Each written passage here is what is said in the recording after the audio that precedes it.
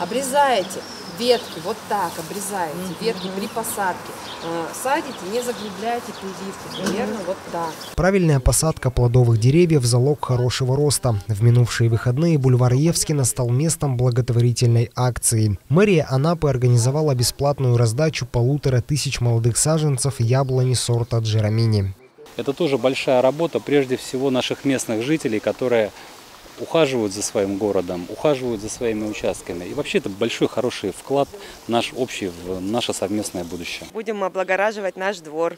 Э, Очень нравится ухаживать, наводить красоту. И детям будет потом в будущем плоды вкусные, надеюсь. Акция проходит уже второй год подряд. Прошлой весной жителям курорта раздали около двух тысяч яблонь. В прошлом году мы взяли саженцы, посадили, все прижились. Очень благодарны аграриям, садоводам Кубани вот, за яблони, которые они нам предоставляют, тем более бесплатно. Это очень приятно. Пока одни стояли в очереди за фруктовым деревом, другие наводили порядок. В бульваре покрасили лавочки, покосили траву и собрали мусор. Здесь нет безразличных людей. Люди, которые заинтересованы в том, чтобы их город был чистый и ухоженный, это те наши люди, с которыми вместе мы плечо к плечу делаем наш город лучше. На территории также провели озеленение, а именно высадили 16 кипарисовиков. Более того, в ближайшее время бульвар Евскина ожидает дополнительное благоустройство. благоустройство тротуаров, э,